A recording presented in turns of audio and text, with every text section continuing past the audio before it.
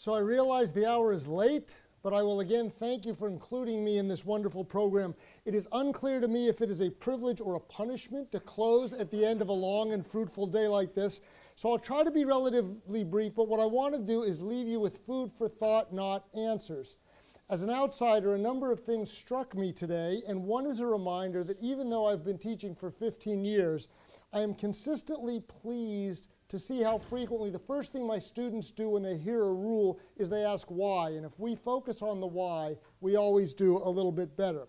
The other thing is, if anybody tells you that they know the answer or the answer is easy, ignore them, okay? Because it's just not realistic. So, a few observations from today. I was pleased to hear that in the discussion of the EU directives, the cabinet official acknowledged that the directives are a compromise. The critical point is in a compromise, not everybody gets what they want. Now, I'm not saying that this compromise is optimal or that it's a model, but then again, I feel the same way about the US procurement system or the UNCITRAL model law.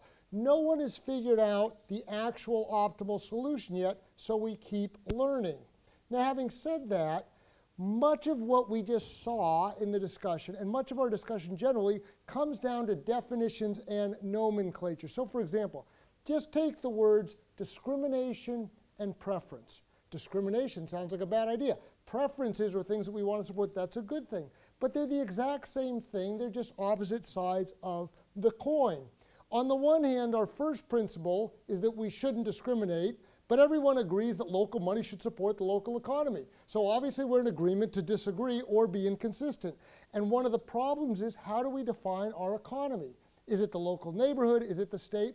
Or do we live in a global economy today where, as we learned less than five years ago, all economic events now have global ramifications?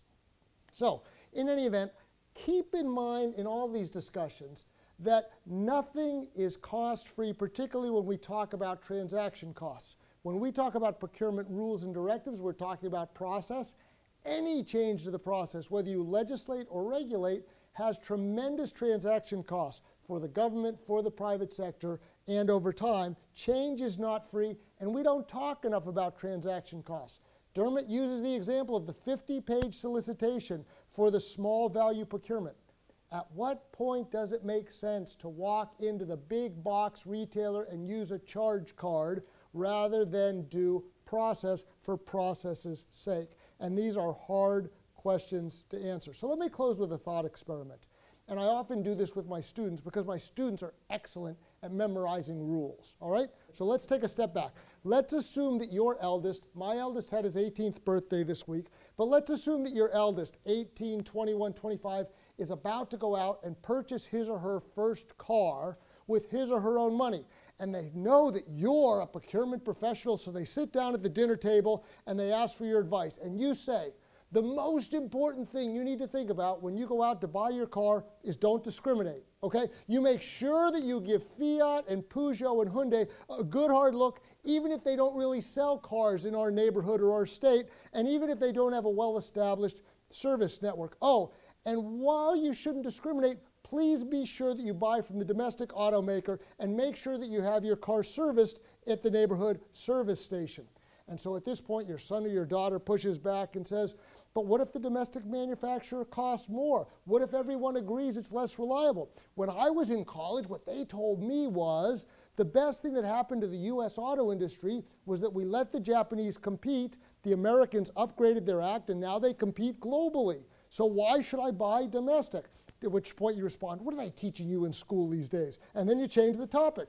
Then your child pushes back and your child says, no, no, but really, how do I decide? And you say, well, the second most important thing for you to do is make sure there's no fraud in your transactions. Don't take a bribe and make sure you, you follow all the rules. And they say, no, wait a second. Your kid says, but that's not what Consumer Reports or Edmunds or Parker is telling me. And you say, wait, wait, wait, wait, I wasn't done. Just remember, you have to be transparent. I need to be able to have a paper trail of everything you've done, and the neighbors are going to audit everything you've done, and I want to make sure that you give all the automakers the opportunity to sue you if they don't sell you the car. Now, mom, dad, look, I didn't learn any of this in economics, in my economics class. You know, shouldn't I be thinking about economics? And you say, of course. you should go out and buy the least expensive car that money could buy. And you say, but wait a second, when you bought the car for my older sister, you told her the most important thing was that it had the highest possible safety rating because you were concerned about her safety. Do you not care about my safety? And you say, no, no, but that's an evaluation factor. It's not a fundamental principle. And so your son or daughter pushes back and says, well, okay, so I've got safety, I've got gas mileage, operating costs, reliability, maintenance costs, potential resale value, the number of doors, how much storage space is in the boot or the trunk or whatever. And you say, yes, yes, you should consider all those things, but they're not important enough for us to basically have rules on because those don't apply to everybody. Okay, so then your son or daughter says, but maybe I should be thinking about the fact that I shouldn't buy a car at all what if I lease a car or basically use a car sharing arrangement? Should I factor in the costs of parking, for example, in my purchase? At which point you say, now you're talking about requirements. That has nothing to do with procurement. And the conversation goes on.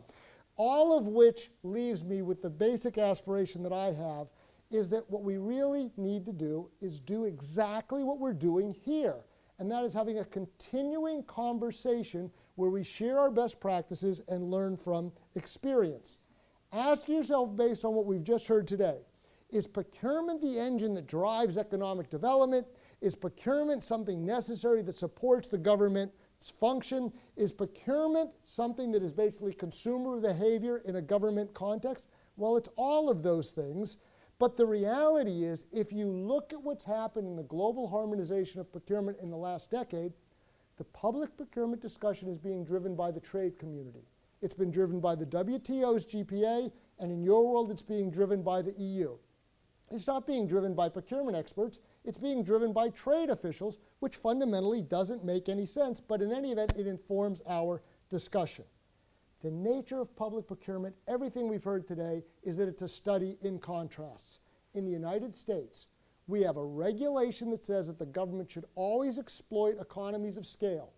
And for that reason, it should buy in quantity to get better prices, and we call that consolidation. But we also have a regulation that says that we should always disaggregate purchases so that small businesses can compete, and if we don't, that's called bundling, and that's prohibited. That's what we just spent an hour talking about. At the end of the day, in law school, one of the fun things about teaching is we have a difference of opinion on our faculty. Is public procurement no more than contracting in the context of the administrative state, or is it an administrative function that takes place in the business community? Is it a regime where consumer behavior should come first rather than being an afterthought? My belief, and we heard this time and time again today, is at the end of the day, procurement is all about people, not rules. Successful procurements begin with good market research and they conclude with a liberal use of common sense. And the sad thing is, is you can't legislate either one of those. So maybe what we can agree is the first responsibility of a true procurement professional is to think, and maybe that's a productive starting point. It's been a real pleasure talking with all of you, and I hope we see some of you tomorrow.